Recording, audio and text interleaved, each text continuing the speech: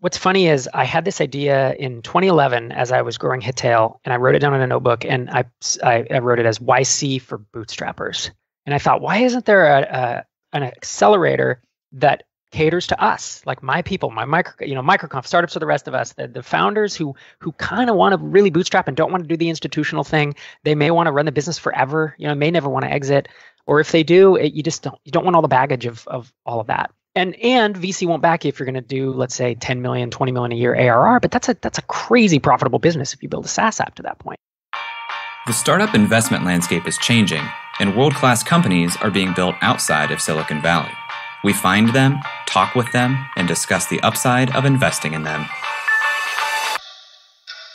Welcome to Upside. Woo!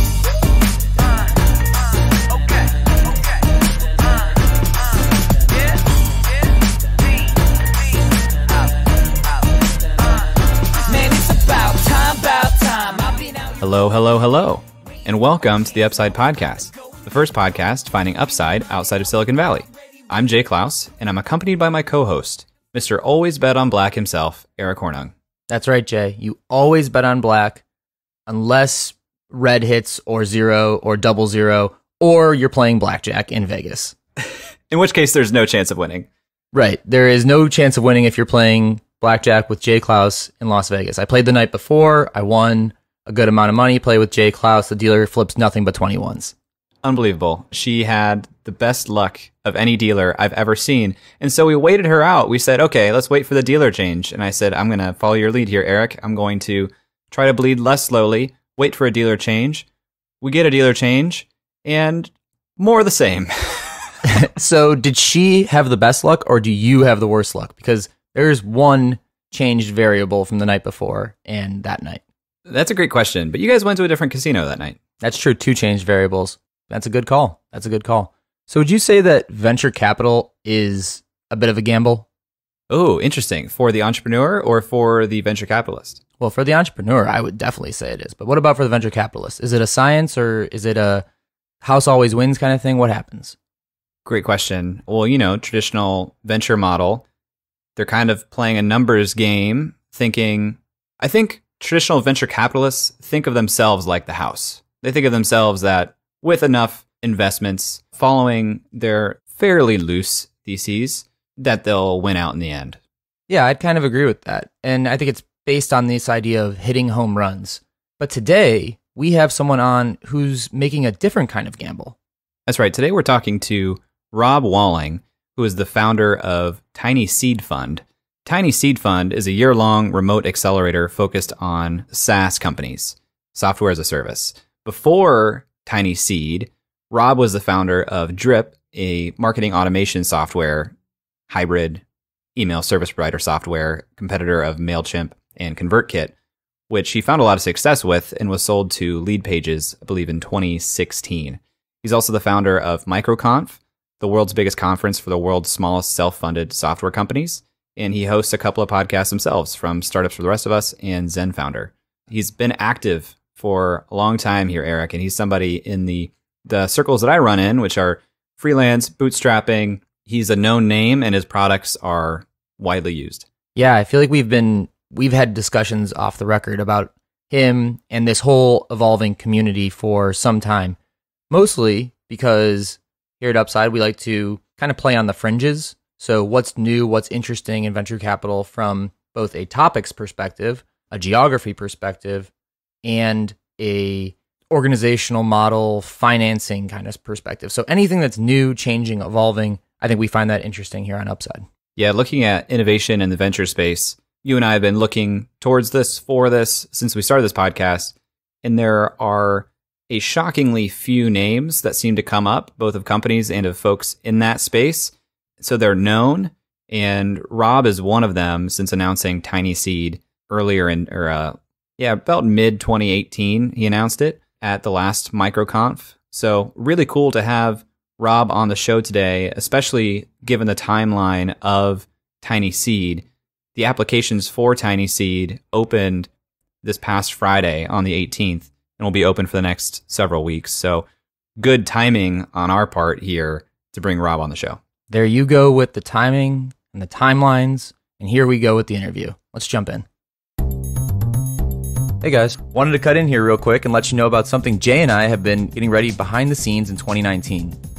When we started this podcast, Jay and I said that you, the listener, would have an opportunity to learn in real time, to think like venture investors with us as we meet a wide variety of personalities and examine a wide range of industries.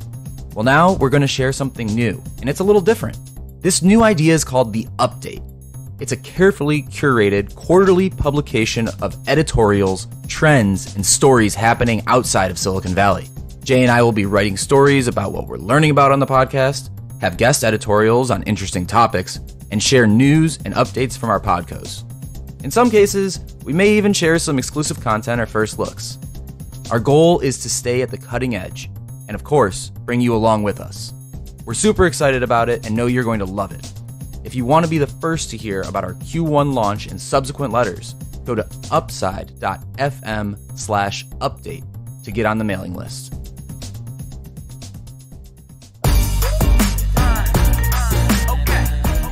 Rob, welcome to the show. Thanks for having me on. Rob, on Upside, we'd like to start with a little background on the guest. So, can you tell us about the history of Rob? Uh, sure. You know, I'm a software developer by training. I learned to code on an Apple IIe when I was eight years old. And I was just struck by the fact that I could make things. And, and I've always been a, like a creative person in that respect. Not necessarily, I mean, I do play guitar and I've written songs and such, but I've really been motivated by, you know, creating technology. And so after getting out of college and working for in construction for a couple years, I was wondering why I was doing that. And so I became a, a professional developer for a consulting firm that was building .com websites. So this back around 2000, 99, 2000. And it was super fun, super fun. Just to be able to get paid to build things was like, uh, it was, it was invigorating. And that fun lasted for a couple years and then i realized it was it was kind of a slog building things for other people you know and kind of the fun went out of it for me because i realized i wanted to create my own things. And so i started doing that nights and weekends and every night and weekend that i worked i thought to myself i just want to do this full time you know i want how can i do that? And it was the you know the stretch of like the realization that i need to own my own time if i'm going to do that. And you know so that's when i decided to start building products. So 2005 was kind of the first little success I had. So you mentioned you're a musician on the side, construction yep. worker, musician, software developer, true renaissance man. What do you do in the music field?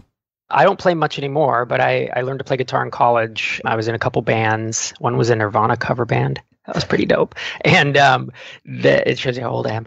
But, and then I was in an original group in Sacramento. It was like a folk rock acoustic folk group and had a lot of fun. I was in it with my wife, and so I would write song, write, I wrote about half the songs. I would sing and uh, play the guitar.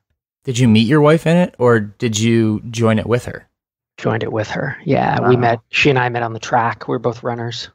There are so many parallels. Well, I mean, musicians are consummate entrepreneurs, so I find myself drawn to musicians and artists in that same way because, similar to you, I've really found an appreciation for making things and doing whatever I can to build a life of my own design where I own my time and make things around that. I'm curious how you got access to or were introduced to the idea of software development so early. Mm, yeah, that's a good question. And it was a little bit by accident. My dad and mom had heard of, they knew computers would be a thing. And this is 1982, I believe. Yeah, I think it was right, early 80s. And the Apple IIe had just come out and we lived in the East Bay area. And my dad, you know, was was an electrician, and somehow I think just being around as an electrician, you work on these jobs, and he would build buildings for Apple, and then build a data center for whoever, and then build something for Genentech. Like he just was around the technology, even though he himself still is not good with it, you know. And so he and my mom talked, and they dropped a lot of money. They dropped like four grand in 1982 dollars on you know an electrician's salary, basically, to get my brother and I this Apple IIe. That's and amazing. so yeah, it was. I mean, that was that was the game changer for us, right? And the fact that games were really expensive, we wanted to play games. We like Dungeons and Dragons and that kind of stuff, and so we had to build our own because we couldn't pay the fifty. It was fifty bucks a piece, really, to buy to buy games. So we just started figuring out how can we make our own stuff, and it, it was a bit of luck, and then a bit of of the fact that it fit our kind of maker personalities, you know. So we'll, we'll, fast forward back to when you started building your own products. What did those first products, that first product look like? They were terrible. And not only were they terrible, they were just the ideas of them were terrible. It was all, there was no one talking about bootstrapping. There was no one saying, like, all the common knowledge that's today, or even the common, like, I wrote a book in 2010 called Start Small, Stay Small, A Developer's Guide to Launching a Startup. Everything in there now seems obvious, but no one was saying it at the time. So my ideas were like, hey, let's, build a social network or what it was social news website for personal finance because hey Digg is successful and personal finance ads you know are expensive and therefore you get a lot of money per click so i'm going to build that having no idea that you just can't do that as, a, as an individual like the, the odds of that happening are, are, are slim to none right so I launched so that was called flogs.com. I launched FeedShot, which what was that? It was you could take your so you when you used to post to your blog, you used to have to go and notify. You don't you'd ping out to all these services. And I built a service to do that and charge tried to charge like a dollar or two dollars a month. So I learned from there, well, you just can't make any money doing that. There aren't enough people. There's too much churn. Is that know? like an original RSS feed? Yeah, although it's it would take in RSS feeds from your blog and then it would send it to out to like 200 different news and blog services and such um, that were accepting these pings. So it was just a little utility, but you know utilities aren't going to be they aren't going to pay pay your pay your mortgage. Um, so I learned things from them. And it was fun to launch and do things in public, but I also it was like a I need to niche down and b I need to charge real money to real customers who have a problem. Probably don't want to go B2C at all I want, you know, all these things, right? I mean, everything I'm saying now is, oh, that's just common knowledge. Well, it wasn't in 2003, you know. So my my first real click with that was in 2005 when I I basically acquired this software product called .NET Invoice, and it was in kind of alpha stage. It was still pretty pretty rough shape, and there were a few uh, alpha users.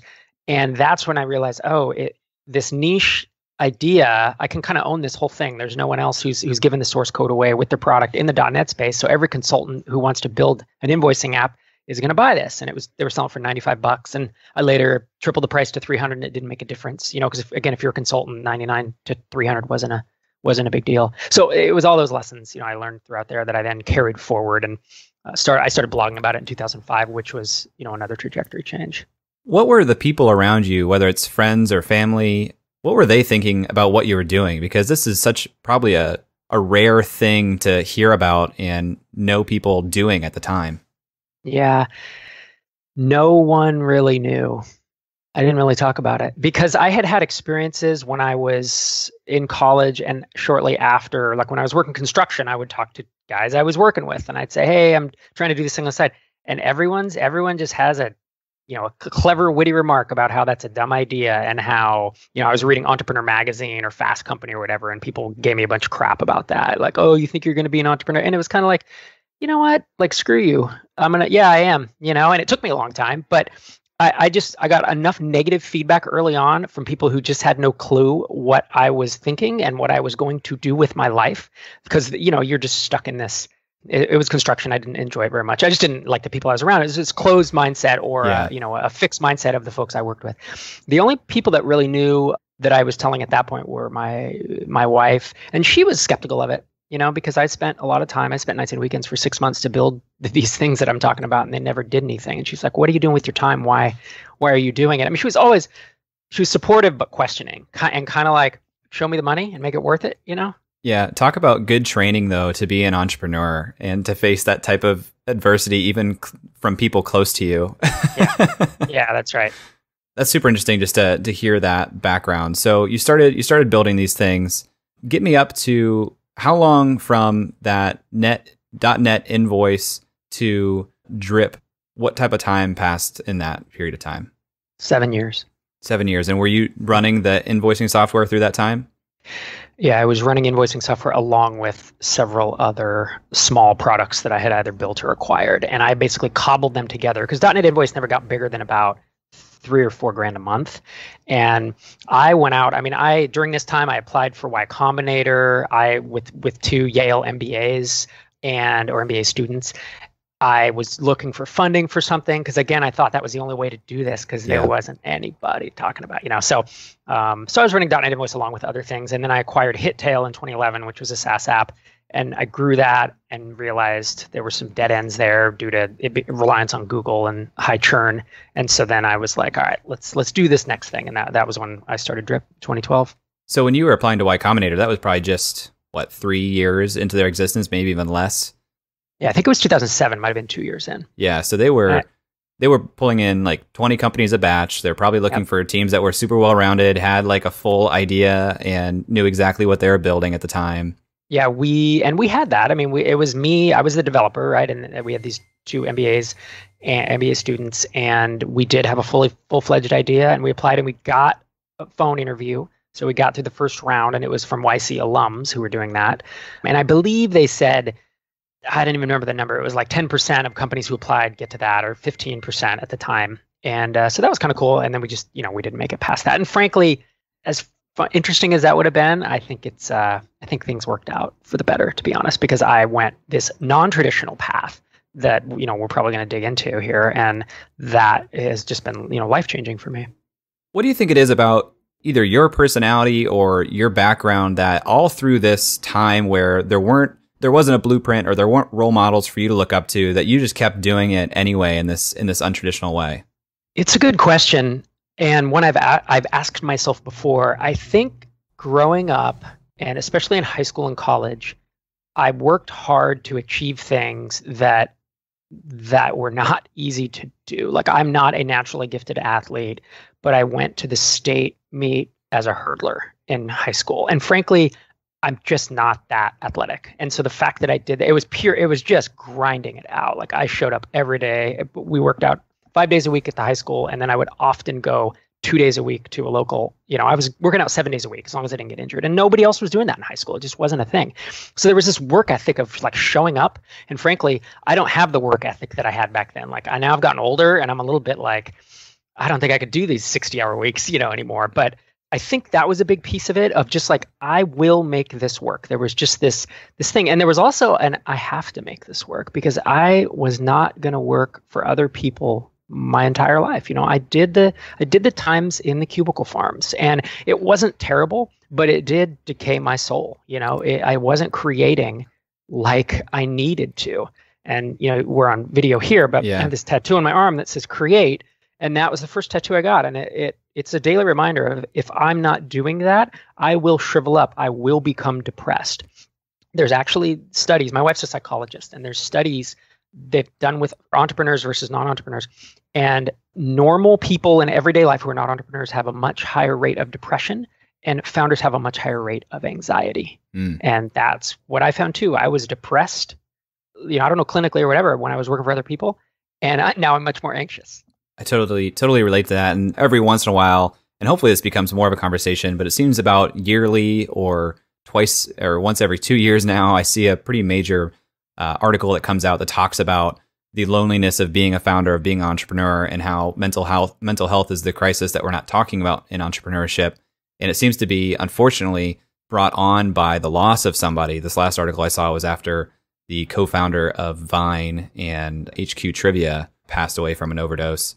So, you know, someone else that we've had on the show that's a good friend of mine, Web Smith, he tweeted one time, he said, actually, he said in an interview, mental health is the story that we're not telling or that, that entrepreneurs aren't telling. And I thought that really stuck out too. Yeah, I would agree. And if if you want to, th- there are resources. So my wife and I co-host a podcast called Zen Founder, ZenFounder.com. And if you whether you go and listen to that, because we have 200 episodes of that, and the whole point of that, it's, it's called Startup. Or the subtitle is Startup Family Life. It's all about balancing these three. As I said, I'm a multi-time founder. She's a psychologist and now an entrepreneur herself. So it's like kind of a good, and we're married to each other. So there's this interesting play there. A lot of, lot of info. We've talked about all this stuff, suicide, the whole deal. That that Randi Zuckerberg quote too of like family, friends, exercise, sleep, business, pick three. Uh, Yeah. I find that to be also unfortunately very true. Okay, so take me up now to to Drip and how you got Drip started because that's that's a name that probably a lot of listeners on the show here will recognize and have maybe even used for their email marketing. I'm interested to hear about the inception of that company. Yeah, so it was based on a need I had with my prior SaaS app called HitTail. So HitTail was a little 10, 20, 30 dollar a month SaaS app that helped people with their SEO. And I wanted we we got a lot of inbound organic traffic because that was part of my tool belt. You know, I knew how to do SEO and paid ads and this and that. So we got a lot of inbound and we weren't capturing very many via email, right? We weren't capturing a lot of email addresses. And again, this is 2011 and so people were not i mean i did a talk in 2010 at a conference and about email marketing and how important it was and how you should build your list. And people like gave me scathing reviews and said I was a spammer and stuff. And I was not talking about spam, but email was unpopular, you know, until very recently. Yeah, that's wild. It's, you know, it's really it's bizarre to see the tides change. split testing was another thing nobody used to do. Okay, so all that said, I wanted to capture more email addresses. And so I didn't want to go and embed an HTML form on every friggin' page of the website. We had 200 pages. And so I was like, why isn't there just the little JavaScript pop up that can go on every page, right? I think I had seen one before. It wasn't some idea I came up with, but it was like, isn't there a service to just in- slap some JavaScript on this thing and make that happen? And there was nothing. So this is before SumoMe. This is before um, OptinMonster. It's before, you know, whatever else, you know, tool you would think of to do that. And so I hired a contractor to to build that, and he you you know he just used jQuery and styled it up and wired it into Mailchimp autoresponders, and it took him a week of work to do it. And I was like, this is nuts. And we started, we got a bunch of emails. It was great. It worked fantastic. So I was like, why is this not a SaaS app? And as we were growing hit, as I was growing Hittail, you know, we were I was relying on Google and the churn was higher than I wanted to be. I could never get past that. So I grew it up to about 25, 30K MRR, which was great because it was really, it was just me, you know, with a contractor. So the money was great. But I was like, am I going to be running this in a decade? You know, is this, is this a decade long business? Because I don't know that I'm going to do it. So Drip became this is kind of the next the next thing and that was december of 2012 when we broke ground on code I, I got 11 pre-purchase commitments before we broke ground on code so i talked to friends of mine and folks you know in the saas space and said would you use this? Here's what it's done for us. Does this sound interesting? And they said yes. So that's at the point we broke ground on the code. It definitely sounds. I don't know the founding date of ConvertKit, but I'm guessing that Drip was before ConvertKit. If you're working on yeah. it in 2011, and yep. Mailchimp was probably around, but still pretty nascent. Yep. And those guys Man, their their story's kind of crazy too. Yeah, I know. Mailchimp wasn't. I mean, they were more than nascent. They were the they were the 900 pound gorilla already because they had the free plan. They figured out how to do free with email. Uh, Aweber was another option. Constant Contact was not as much in our circles, but they had been around since 2000, I believe, 99. And then as we got into email, I learned, oh, Infusionsoft. I'd never even heard of Infusionsoft. You know, which is crazy think about today. Yeah. And then Active Campaign was a, I believe, was a like downloadable white labeled software or something because they I believe they became SaaS in like 2014 2015. Wild. Do you think this is kind of an aside of just my personal curiosity? Do you think that email is still on the rise as a marketing tool or do you think that we're going to see a post email type world soon? I think it's I believe it's still on the rise. I know people talk about post email and and SMS and Facebook Messenger and WhatsApp and all this stuff, but I mean, you know, we we put up a landing page the other day for TinySeed. It was October, I guess, a couple months ago, and you know, got three or four thousand email addresses. And to me, that's how I'm going to communicate with people. You yeah. know, I wouldn't uh, in ten years would I get their Facebook Messenger handle or you know some other thing. I, I guess I don't see an option today that will replace email. Maybe one comes out in the future, but there's no communication medium that I know of that I think will will replace it. Yeah, it seems like bots and SMS they have higher open rates right now, which is what the buzz is about. But they're so invasive. Like I, I don't I don't think yeah. I've ever had a Facebook Messenger bot or an SMS experience related to marketing that I was like, man, I'm glad I got that. Yep. Yep, and and the asynchronous nature of email is one is one thing that just no one else seems to be able to replicate. The the fact that I get pinged on my phone for a text or whatever, and that's just the standard. It's as you said, invasive is a good way. Which is also, you know, there's a little bit of backlash uh, about Slack and just how it's destroying maker productivity. I think not destroying, but how it's negatively impacting it. Yeah, I mean, if anything's going to replace email, will be Slack, right? Yeah. But the problem with Slack is it's closed, you know, closed thing. So how would we have gotten the four thousand, you know, yeah. people that we got the other day? You invite them to a Slack group, and then that's just a catastrophe. If you've been yeah. in one with four thousand people, it's nuts. Yeah. You know? So Rob, you you exited Drip a couple of years ago, and I read an interview with you where you talked about some of the reasons why. Could you share some of those reasons why you thought it was time to look towards acquisition for Drip? Yeah, hopefully the reasons I say are the ones that you saw because I don't know, you know, because things change over time and especially your memories, you know, fades and such. Probably the biggest reason is that as Drip was growing, so I bootstrapped Drip, really self funded it, to be honest, out of Hittail revenue. So it was, I mean, I put a couple hundred grand into it, you know, 150, 200 grand before it, before it became profitable.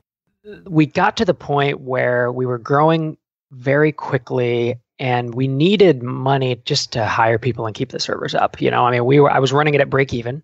And every time we'd go up 10K MRR in a month and I would hire another engineer just to keep us going, you know, and then we go up 5K, I'd hire another, so, you know, another customer success person or whatever. And I realized that the cash constraint was truly a constraint on the business. So I was entertaining the idea of kind of doing a single round, you know, not not going institutional, but raising probably I was look thinking about a half million bucks of angel funding and just would have gone to my network and such. And during that time, as I started thinking about it, and by this time that contractor who originally built Drip for Hittail had become an employee and then retroactively became my co-founder. So he had just been there since the you know day one and and took you know a minority position in the business. It just made sense to keep him around, and he was a true asset to the company. And so as I'm thinking about that, and I'm talking about this, you know, with Derek, my co-founder, we were getting acquisition offers inbound, uh, and we got five of them in about the span of 18 months. And we had to get an email, and it's like, "Hey, we love this, and you know, we're strategic." And you know who they were, you know, I knew who the companies were, and so you'd start a conversation. And it was never my initial intention to grow a company and sell it, but it did start to become appealing at a certain point of like, so we could raise a round at, a, at X valuation, and we're going to need to go for another three to five years at this pace to really make that worth everybody's while. Because to me, raising around is a commitment to the investors. I want to provide them with a return. Or we could basically get acquired. And the reason Leadpages was was such a good acquirer is they had raised $38 million in venture funding. So I knew that they had the money to put behind us, you know, that they could add the, the fuel to the fire. And when we got in, it was like, hire who you want, double your i mean the day we got acquired like we doubled the aws bill because we just were running i mean i was turning stuff off on the weekends. It was just stupid you know it was it was too cash strapped. So and we could take money off the table. So we could almost raise funding but also have a good outcome for us as well. And that was that was the idea. So really the four stakeholders in any acquisition and it's who i wanted to guard were our customers. I didn't want them to get screwed. You know, our employees. I didn't want anybody to get laid off. And then the founders, of course, and we had the cash outcome, and then the acquirer itself. You know, to provide them with with value. So at least you know for the I was there for about 20 months after that, and I, feel like I've had conversations with multiple stakeholders, and you know things worked out that way. Things worked out well for everyone. What does like acquisition outreach look like? Is it just an email that you get from someone that says, "Hey, I'm looking to buy your company"? Like, yeah, is it really that basic? Mm-hmm. Yeah, I mean, there's there's two things. There's certain people, uh, you know, I knew Clay Collins from Leadpages. He I, he had been on my podcast. We kind of run in the same circles. We'd never met in person, but we know the same people, just having been around for a while. And so he emailed directly and was like, "Hey, we really like Drip. You, would you ever consider selling it?" So he was very direct. Um, he's actually published that email in a in a blog post. The others were you'll get an email that's like, "Hey, I'm the it's the corporate development you know, is the title. So that you get from the corp dev guy or gal, and it's like, hey, we're looking at strategic partnerships. You know, it's all this very vague language, but like strategic partnership from a corp dev person means they want to start having a conversation about acquiring you. So, but it, yeah, it's just it's an email or a LinkedIn, you know, outreach, and you just kind of got to read between the lines. And frankly, I mean, there were of the five, there were a couple that were just an, a no go almost from day one. You know, word one, it was just like, yeah, I don't want to work with you, and I don't think you have the best interest of the four stakeholders, you know, or the other three, I guess.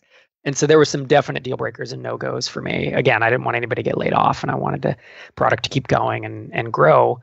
And that's what I was able to do while I was at while I was working with Leadpages. Because you had bootstrapped this, that decision was pretty much wholly in your court. Yeah, that's true. Yep, it was Derek and I together really were were mulling it over, but we had the luxury of you know there was no there were no venture capitalists, there was no liquidation preference, there was there was no complexity there. It truly was, do we want to do this, and at and at under what terms? You know, we could just basically make the choice, which is a luxury, uh, you know, someone who's bootstrapped has. When you say the terms, I want to talk about that a little bit more. One term that we hear very frequently in like the tech space is you get purchased, and then you have like kind of a four year lockup where you're not actually locked up, but you either have some sort of earnout that gets paid or you have some sort of options that vest. Is that the same kind of things when you're bootstrapped, or how does that all look? I'm sure it can look many different ways.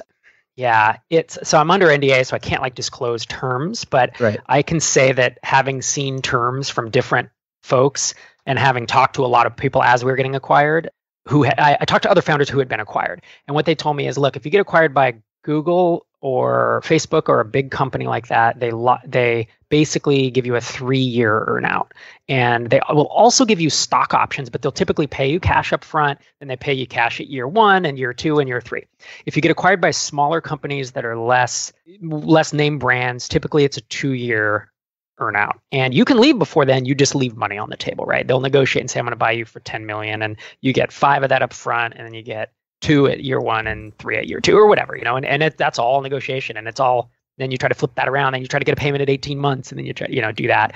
But I have known founders who've gotten one year and 18 month, you know, earnouts as well. That was the case with, I had a very modest exit a couple years ago and our deal was we had a two year earnout, but we had an earnout at year one. We had an earnout at year two. We, we left year two on the table because it was just miserable working for that company. That's but tough you know, I think most people listening to the show will have some experience with making some type of deal, whether it's a small cash deal for like doing freelance work or something. When you're early on in doing sales, sometimes deals are scary because it's like, I really want this, but I feel like if I don't ask for higher, I'm leaving something on the table. But if I ask yep. for higher, they might just walk away. In yep. a situation like an acquisition, that's a much higher stakes, similar circumstance. How did you think yep. through that? Yeah, it can be millions of dollars literally won or lost based on how hard you dig in. It's crazy and it goes right to your personal bank account. So it's even different than selling for someone else where you're getting a commission. Like it's it's it was it was really stressful. I got to be honest. It was one of the most stressful things I've done in my life. And I even had, you know, I had help. I had a broker that I hired to just kind of back me up who's consulting and giving me stuff saying this is this is a great this is a good offer or this isn't and these are the terms. For me it was you know it took a year from the first email to close. And the reason was is because i did exactly that. I said you know what? It's just not worth you know selling for less than x or with you know without these terms. And they walked away multiple times several times for months at a time you know and that was but you know i didn't want to have any regrets in all honesty. And derek was on board with that. I mean i, I was pretty committed to hitting hitting some certain things. And so I dug in hard, and uh, the even it was it was about six months of casual negotiation and then it was like five or six months of, of intense 20 30 hour a week like effort. I was almost not running the company towards the end. How aware were, what were your employees of this conversation going on and how did you guard that? I they were not aware. I did not tell them until about a month before the close because i just because to me i had to keep telling myself this deal is not going to happen. That was my mental frame because if I got too excited about it, I knew that I would, I wanted it, but I couldn't tell myself that I wanted it, if that makes sense. And I talked to the employees. We only had eight or 10 at the time. So I talked to them one, met with each one individually once it happened. And I said, this, I'm going to tell you news that's good. It's going to sound like bad news, but I need you to trust me. This is going to work out better for all of us. Just hear me out. We're going to, you know, I think we're going to be acquired by Leadpages uh, in about a month and here's why it's going to be better you know?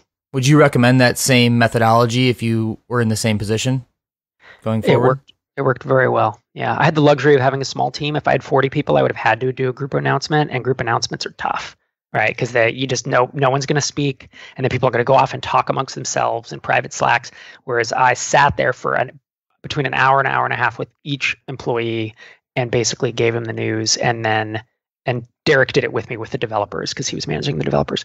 And then we just talk through what are your questions? Boom, boom, boom, boom, boom. You know, go through them. It worked really well. Yeah. And and I don't think I wanted.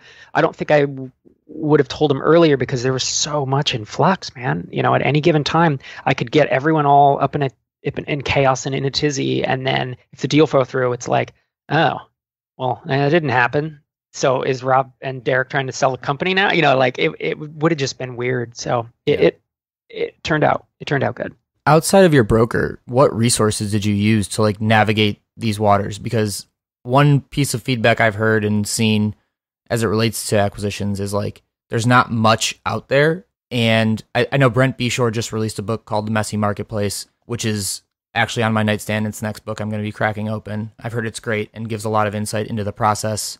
But at the time, it seems like there probably was a lot less there was a lot less but what i did is i listened to I, am an audiobook guy so i'm going to say listen to but what i really mean is read. Um, i listened to built to sell like three times. The nice part about built to sell is it's it's short. I think it's a couple hours and you just gain some and he talks about selling a consulting firm but there were some lessons that i took away from that. There was Finish Big by Bo Burlingham. I listened to that a couple times. Some of it didn't apply to me, other piece of it did. And then now there's a book. There's also a book called Before the Exit Thought Experiments for Entrepreneurs. It's by Dan Andrews and Ian Schoen from Tropical MBA. And I read that just that just came out in the last couple years, so it was after I was acquired, but that's a good one I recommend. And the Built to Sell podcast, Built to Sell radio is actually pretty good to just kind of get some sanity checks. The other thing I did, so that's what I consumed because I was so stressed for months. It was it was brutal. I also used my network and I talked to probably half a dozen founders, either via email or on calls said, "Look, I have an offer. This you sold. What did it look like?" You know, basically asking all the questions you're asking me, except it's private conversation, so they can actually tell you all the terms and stuff, and to find out what about this term? Should I do this? Is this a is this a mine fee? You know, a landmine? And so that was that was how I did it. So I want to move into post drip now. TinySeed Fund. When did the idea for TinySeed start percolating after drip? Yeah, you know what's what's funny is I had this idea in 2011 as I was growing Hittail, and I wrote it down in a notebook, and I I, I wrote it as YC for bootstrappers, and I thought, why isn't there a, a an accelerator that caters to us, like my people, my micro, you know, microconf Startups for the Rest of Us, the, the founders who who kind of want to really bootstrap and don't want to do the institutional thing. They may want to run the business forever, you know, may never want to exit, or if they do, it, you just don't you don't want all the baggage of of all of that and and VC won't back you if you're going to do let's say 10 million, 20 million a year ARR, but that's a that's a crazy profitable business if you build a SaaS app to that point. So why isn't there funding out there and an accelerator to help with that? And I didn't do it because I didn't want to deal with all the headache of raising investing and it just sounded like a nightmare to me. And I also don't know that I had, you know, the the network and the reputation at that point. So that's where it initially hit when I I spoke at MicroConf this year in April in Vegas and I mentioned this concept of fund strapping, which is to raise like a round of a couple hundred grand, two to four hundred grand, and really never intending to raise raise another round after that.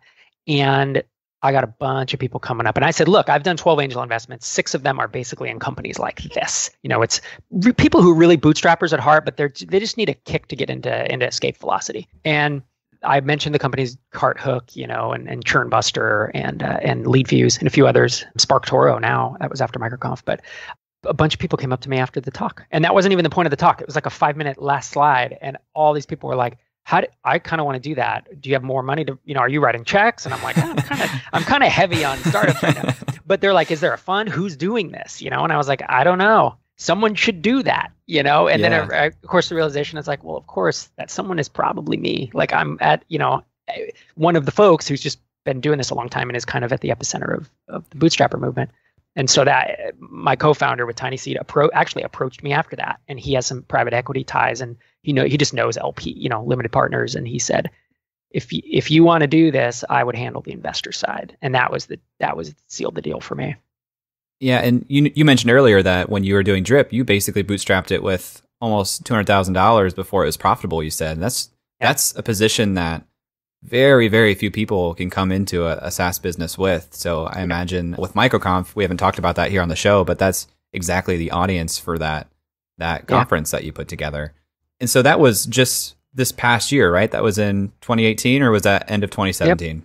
In tw- April 2018, I did the MicroConf talk, and then within 60 days of that, we we Einar had put together a deck. He's Einar is my co-founder, he and I were still just floating the idea and like, do we want to do, you know, is this a thing? And then as we started talking to investors and founders, it was like, oh, this is a thing, you know. And then we announced in October of 2018, and it was literally one email I sent out to my list and a tweet, and it just just blew up. And we, we were getting tweet replies from all kinds of, I mean, from you know Rand Fishkin and, and Joel Gascoigne from Buffer and Dharmesh Shah, and you know, just all the the folks who were kind of bootstrappers. They're either true bootstrappers or bootstrappers at heart, you know, and they were just like, this needs to exist. What help do you need? And that generated several thousand emails overnight.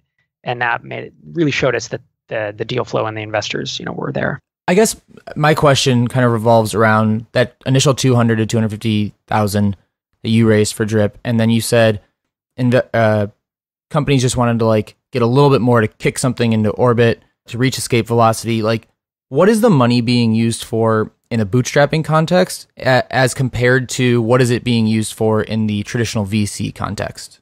Yeah, with Drip, I didn't raise the money, but I pulled it out of a, another company that I had called Hittail, and I it was about 150 to to 200.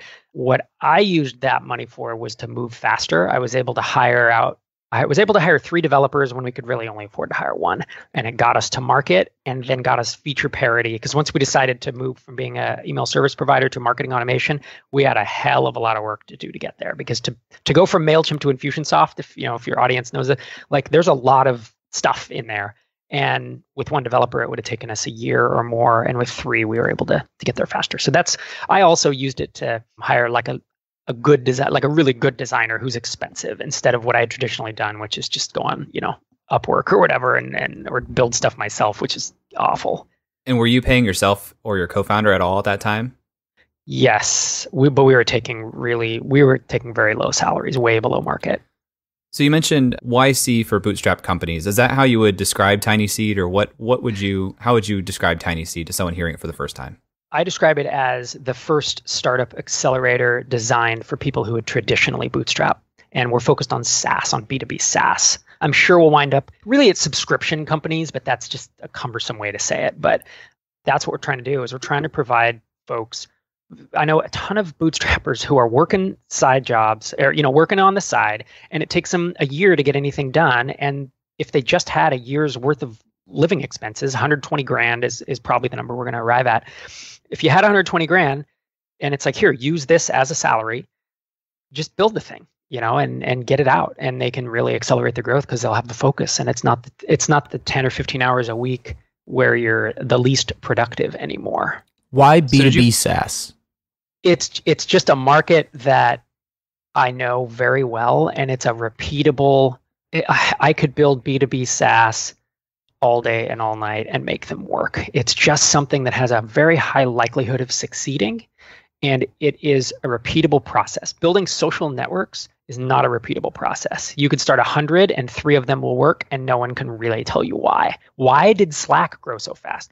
I don't know. I mean, it is B2B SaaS, but it grew like a social network because there was a viral component. That is almost impossible to replicate. Whereas building a 20, you know, 10 million, 20 million dollar SaaS company, like let's just, you know, we could just talk about the fundamentals that it takes to get there. It's like you solve this problem for this group of people, you land and expand, you start with a small niche, you go out, your price point should be f- minimum $50 a month, probably closer to 100 and you're going to raise that over time. You know, it's there's just these things. You ask for credit card up front and then later on you become demo only. You know, it, I it's just a playbook and it's I've been doing it for so damn long that and there's still so much opportunity there. So B2B may be too strong, but at least I, I don't think we're going to do many B2C. Like B2C is tough, right? If you're going to do uh, uh, an app for prosumers or something, it's like ugh, the the churn's really high, and that's where B2B they're less price sensitive and churn will be lower and such. So you're asking yourself, why doesn't this exist? And my gut reaction is, well, there must not be any money in it. But I'm guessing now that you've run the numbers and figured out a way where that can work, can you talk about those dynamics and what would make this work? Yeah, that's that's a good question, and that is something that Einar and I early on talked about. I said it doesn't exist because vent, traditional venture capital really wants unicorns, right? They want billion dollar companies, and going down market is not something you do. It just doesn't it doesn't make a lot of sense, and but I'm here, you know, sitting looking at all these companies that I see that really I wish I could fund them all. I remember saying that at one point, and someone said, "Well, why don't you?" And I said, "Because I don't have the money." And they said, "Why don't you raise the money?" that was where I was like, "I don't know. Maybe I just should." So what I dug in with Einar, because he's kind of the financial modeler guy. He's like a, a data nerd. He has a PhD in computer science and a lot of data modeling and stuff. So he got in and said, "Look, what what do we think our success rate could possibly be?" What are the different ranges? Because it's certainly going to be more successful. You know, in any venture capital, they don't run cohorts, but you know, in their portfolio, they're expecting what is it, 70 or 80 percent to just completely tank, and then some zombies, and then like one to 100x. I would expect ours to almost be flipped. You know, I would expect uh, of my six angel investments that are these B2B SaaS that I think will be seven or eight figure businesses, they all still exist and they're all growing at, you know, 50%, 100% year over year. And it's not because I'm well, it's not because there's no other reason than it's just easier. Base hits are easier than home runs. Building a billion dollar company, you have to throw, you're just going to burn up in the launch most of the time, and only one out of 100 is going to make it. Or I guess it's three out of 100, right? Becomes a unicorn right now. That's the number. Whereas I think 80 out of 100, if I picked 100 companies, uh, you know, 70 or 80 of them is going to become a seven figure SaaS business. It's just, you know, maybe that's a little high number. Maybe it's 60%, but whatever the number is, it's a lot more. I mean, it's, you know, 3% to some some large number. What's your return like for tiny seed on those companies that that's 60 to 80% that are going to hit singles and doubles? Like what is the return cuz the the way that the 3331 like VC model that we hear about works is like you get 3 that go be successful to go 2 to 5x, 3 that go you know, they exit and you make your money back or something close to it. Three that completely fail, and then one that either hits a home run or goes to zero. And like, if you do that, then you get your 2.6x return over 10 years. Mm. So, what is like the, the similar math there in this six to 80%? Is it like they're giving you 1.9 or 3.x, like 3.0x? Like, what is, how does that all work? Yeah, we we have I don't have the 3331 model for us. Einar actually does, and this is one of the the things I'm definitely more on the founder founder discussion side and the and the deal flow side. But yes, our our projected returns are exactly within venture capital IRR. So I don't remember the number exactly, which I probably should, but it is that two. What is it? Two point five x. I think average is v- average is two point six x uh, return of capital over ten years. Right, and we're we're in that range. If we get multiple home runs. We're at seven x or something. You know, it's or home runs for us. Sorry. So yeah, no, it's it's in the same range, and it kind of has to be because we're going to tr- a lot of traditional LPs who are who expect that kind of return, and if we can't give it to them, why should they do it? Why shouldn't they just go invest in you know in Andreessen Horowitz or whatever? Yeah. So how many companies are you going to invest in? Your applications are opening soon. So yep. what what does the makeup of that portfolio look like? What are you looking for? Sure. Yeah, we're going to do a batch of between 10 and 15 for our first batch. Manageable and easy, nice small community. I think we're you know we're closing our funding round, our our fundraising, and we've raised enough for 11 or 12 companies right now. And I think if we get, we may get to the point, it's looking like we might have the possibility of, of having enough to run 20 companies, but I think we'll probably do two different batches, one batch of 10 now, and then a batch of 10 later in the year. Just stagger them. And that's with the estimated $120,000 per company. Yeah, it's going to be between I think 120 is for a single founder and then give or take, you know, let's say you add 20 grand per founder. So maybe it's 140, 160 for 2 and 3, somewhere in that range. We haven't settled on exact, but yeah, that's the idea. Besides being B2B SaaS, what else are you looking for in these companies at the point of them applying? Yeah, it will take people in in all over the range. I'm sure we'll have, you know, a few with with no revenue and then I'd imagine it, it's like more traction the better. In essence, you know what, what anyone would look for. It's like MRR is a good signal. It's not that we're only going to take MRR, but that's that's where you start, right? Because it that means that someone has gotten it to the point where people are willing to pay for it, and that founder has brute forced it probably on nights and weekends to get there. So that founder is probably someone who is to be reckoned with. And I think the biggest thing that I'm looking for, and I'm not the one making the decision. There's it's me and Einar. I have my wife interviewing people, the psychologist, right, who knows founders, and we're getting other people involved to help so it's not some myopic view of our opinions but me personally the founder is the number one two and three you know reasons and then it, after that it's like oh what's your mrr and what's how big's the market i mean it has to be big enough to support a seven or low eight figure business. But I've been having, you know, conversations with founders already just who have basically, you know, they got on the list and then they emailed me directly. And it's pretty fascinating to to talk to folks and to get a feeling for the personality quickly. And it's it's like, yeah, this I think this person's gonna gonna execute. You know, please apply when we get there. And also on your website, it says one of the points you have is we only succeed when you do. And you talk about a profit sharing model versus the typical carry model. Can you shed some more light on that?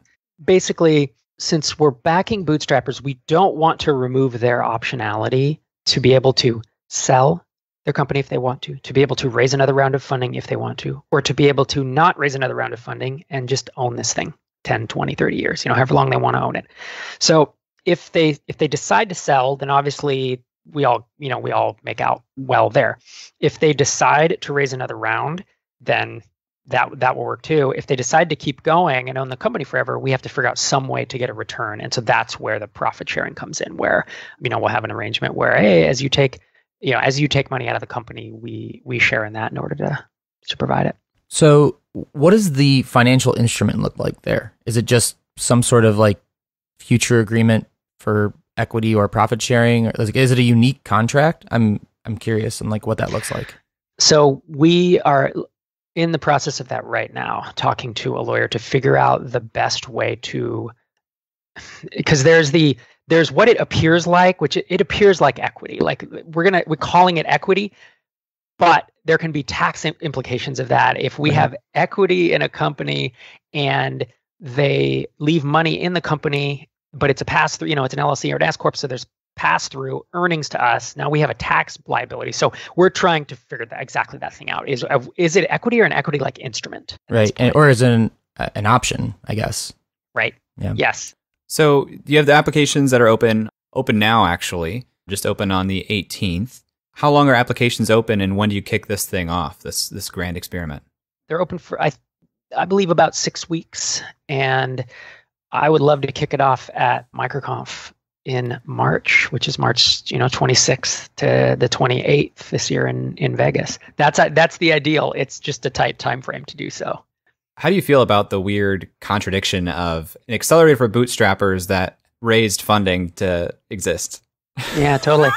it's it's funny how these things work out, you know. And and the idea is what I've been telling people is I have a lot of founders who I've known who've raised these small rounds but are still bootstrappers at heart.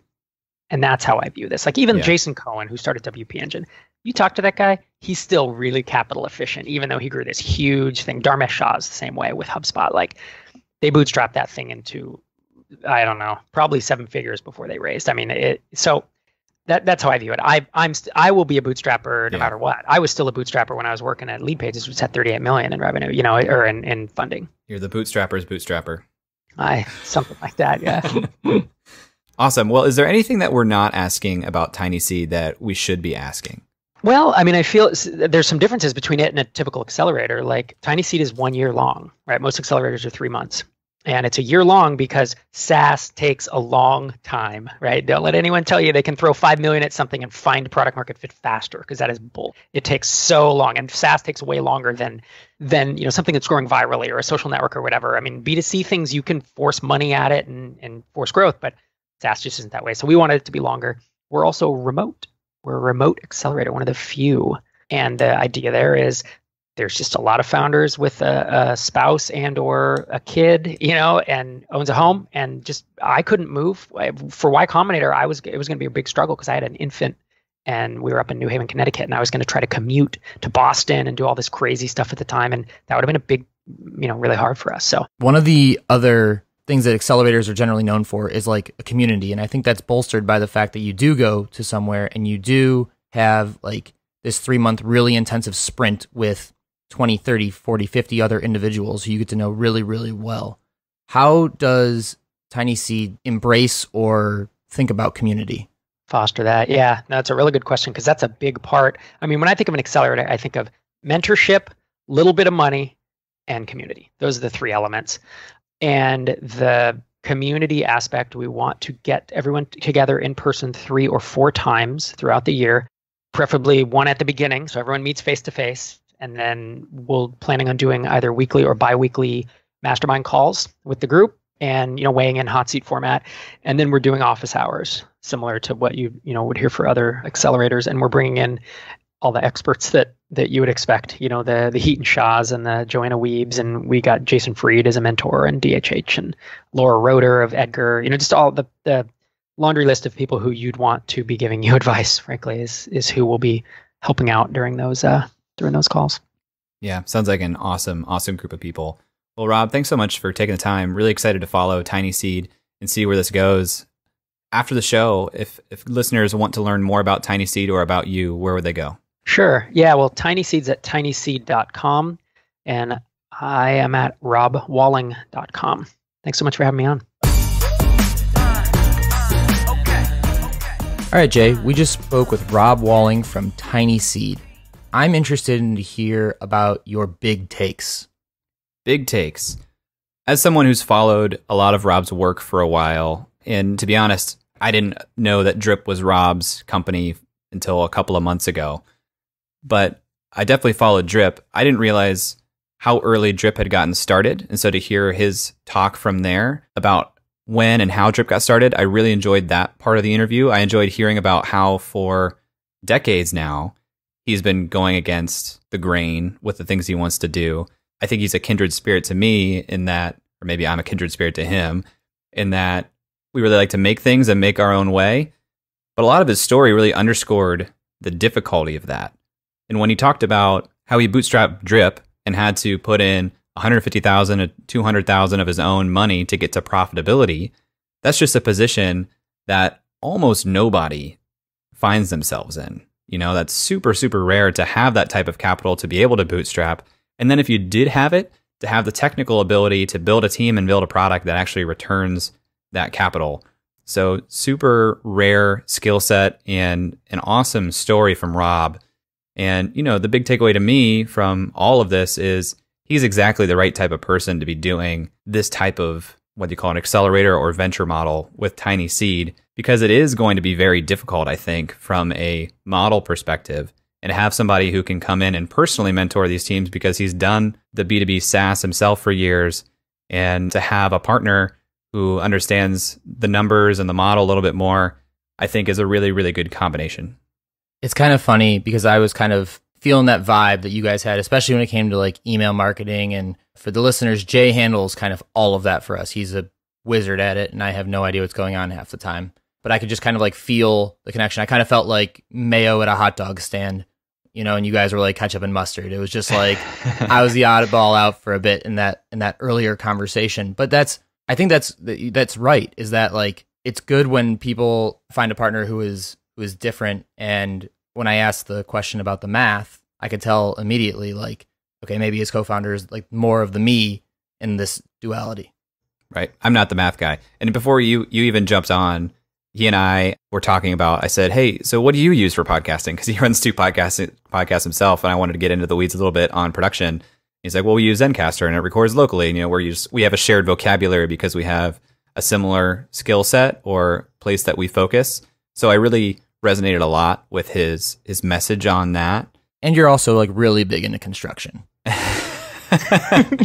when it comes to WordPress sites, sure. have you ever built anything in your life? Like with your hands? Uh, yeah, yeah. And my dad's an amazing carpenter. This is actually one of my biggest regrets was that I didn't spend more time learning carpentry from my dad. For Christmas this year, I have this history of getting Christmas gifts from my family that is mostly just time with me, doing things that I want to do anyway. It's the most so narcissistic my, gift of all time.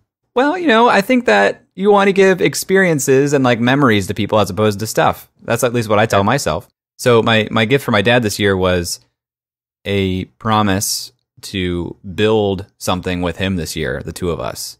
I haven't decided what that's going to be yet. Is it going to go in my apartment? Are we going to build it for somebody else? He's retired now, so usually he just builds pieces of furniture and builds them for members of our family, then drives them in his truck to wherever they are in the country and uses as an excuse to visit too. But otherwise, no, construction's not my bag. Building stuff, not my bag. The nice thing is all you have to do is build something that's like functional. You just have to hit a single, right? You don't have to hit a home run and knock it out of the ballpark. Yeah. What other big takeaways did you have from this conversation with Rob?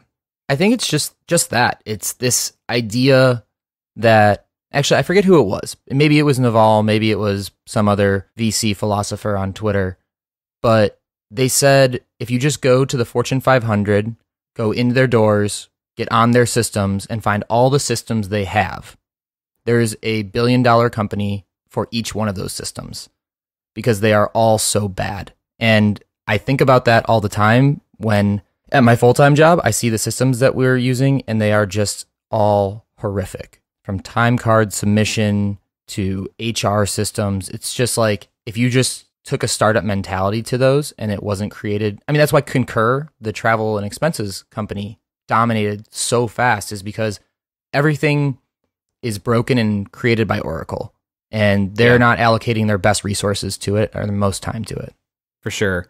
I'm really interested to see where this model goes because I do still think that the math is a little fuzzy to me and hard to understand. And I would love to really, I, I would say I would love to nerd out with Einar to look at the model. But honestly, I would love to watch you nerd out with Einar and talk about the model. Part two, you hear that? Tiny VC, if you're listening in, if you're listening to the episode, we got a part two. Yeah, because I'm sure it's going to be pretty in depth. And I would just love to know what some of the assumptions are and and what they think the hit rate's going to be and where those founders need to be at their journey. Because he said that MRR isn't the only thing they're looking for, but I imagine if they're taking 20 companies or less they're going to have plenty of applications of companies that have some pretty impressive MRR.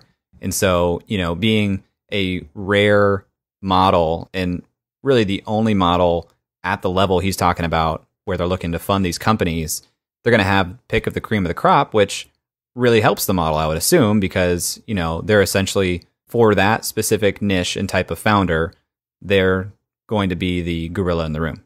Yeah, and I love that. I love the idea that you could like this is like I think we've talked about this before on podcasts, but like the nichification of the internet. Like all the all the big stuff has happened or is happening and there are pathways set up to create something very large. There are not as many pathways to create something not very small, but mid-sized. Yeah. You asked about the financial instrument for what those deals look like. That's also going to be something to watch moving forward, whether it's their own innovative form of things. You know, I don't know what the latest innovation in financial instruments is. The safe note is what I hear referenced most as one of the more innovative forms. Anything else that you're tracking on? You have the SAFT note, which came out of the cryptocurrency movement, which is the safe note, but with tokens instead of equity. You also have what Republic created, which is interest bearing debt in the form of tokens. I, I think that most of that is more geared towards cryptocurrency, but maybe there are some concepts that can be pulled out. The most interesting thing for me is this idea of optionality and what that would look like in this context, because you could effectively take a position in a company that isn't a position. It's just a like a futures contract. How does that work? So at a really basic level, an option is either the right or obligation to purchase or sell an asset at a time in the future. So if I am buying an option instead of buying equity in this company, that option can be in three years or upon a liquidity event, which could be uh, acquisition or an IPO or bankruptcy. I reserve the right to cash in uh, essentially on my equity stake that this option represents, or I can cash in on my right to future cash flows of the business via a revenue or royal or royalty program. And I'm guessing that there's not a tax implication for holding options until you actually purchase the options. So that I'm not a tax lawyer. I'm also I'm not a tax lawyer. I'm also not a lawyer. I'm also not a tax accountant. So all of this information is my understanding of it and is definitely not any sort of legal or financial or accounting advice, just in case anyone was unclear on that. But I do believe there is some tax ramification for options, but I think what he was referring to was the tax implication of passing through earnings to your LPs because in a partnership model, you get a specific tax document that says, okay, this portion of the earnings of the company are attributable to this individual. And that can increase your tax burden without seeing any cash. Well, I'm excited to follow TinySeed as they move forward. Something that you asked that I'm embarrassed you asked that I didn't ask was about the community aspect of the accelerator, because that's a core component of the accelerator that I run that's also a remote accelerator. Community is super, super important. So I actually have a question on that for you, and it deals with shadows. Having run a virtual accelerator, which means that people are generally remote, you have a concentration around Columbus, so you can do some live and in person events, but and that might be a little bit different here. But you have a remote accelerator, community is important to you, mentorship and access to services is also something that Unreal does. So it seems like the three pillars kind of line up. What shadows do you have about TinySeed's ability to execute on those three pillars given your experience with Unreal? I don't know that I do because the way that TinySeed is set up is to create money from the investment in these companies. I mean, from a ethos standpoint, they want to empower those entrepreneurs, and that's going to happen if they provide this $120,000 to those entrepreneurs. And for some entrepreneurs, that may be enough to help them build the company that is profitable, that returns what that investment is. And that's going to be a win for TinySeed. You will inevitably have founders in just about any accelerator who don't show up or take advantage of the mentorship, the community, the office hours. They don't do that. And that's a real problem for the other members of the accelerator if that's the main value that they're looking for, or one of the main values that they're looking for in joining. But if it turns into, you know, the founders who join are mostly looking for the capital and the mentorship, you have some flexibility on the community aspect of things. But if that is what he talks to the founders and that's what they're looking for and they join, they're saying, hey, listen, I'm a solo founder of this bootstrapped company. I work in isolation. I don't have anyone to talk to. I don't have anyone to learn from. And community is what's driving them to join. Then maybe I do have a little bit of shadow of the remote nature of it. But uh, there's a lot you can do, even remote, to to facilitate that. Every time I talk to someone who's gone through Unreal, not every time, but a lot of times they will tell me, you know, I was really surprised how quickly I felt a personal connection to people just through video chat. Do you think then the one year time frame versus the 10 week, 12 week, 3 month time frame, do you think that's a benefit or a hindrance? I think it's good because for these types of founders, their wins and their progress is going to be spaced out. It wouldn't make as much sense to do a weekly cadence the way we do in Unreal. I think that by spacing it out, you put calendar holds on people's calendar far in advance, and they'll probably prioritize it because it's a more scarce event throughout the month. But I don't know, remains to be seen. I think it really depends on the founders who are joining and what their motivations are for joining. And I think that's something they'll probably look at. It's certainly something I look at as far as culture fit and dedication to the calls and to the community. And I would imagine that Rob and his team are looking at something similar. So, in a traditional VC raise, you generally raise about enough money to get you 18 months of runway. That's like the guidance that I've read, I've seen, I've heard. This funding gets you 12 months of runway. And a traditional accelerator, your goal would be after three months to raise that 18 months. So this gives you 12 months. Is the idea behind that, or do you think the idea behind that is that at the end of those 12 months, you should be having enough profit to kind of pay yourself and you don't have to worry about that runway as much because you're running this profitable business? I would say yes, because I think what he's doing is really taking his experience with Drip, and I'm sure he's talked to a lot of founders in a similar spot, but taking his experience and saying, I had to bootstrap this and put this much money in to get to a point of sustainability and profitability. And I think he's modeling after that type of trajectory to say, we want to give these founders the amount of funding to get to the point of optionality where they can raise a fund, they don't need to raise a fund. Did you just say raise a fund? Raise funding after that 12, 12 months.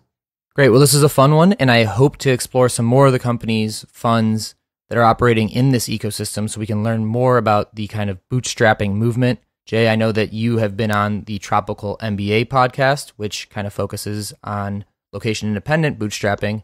Yep, that's right. So guys, if you have any thoughts on this, obviously this is a innovative type of approach.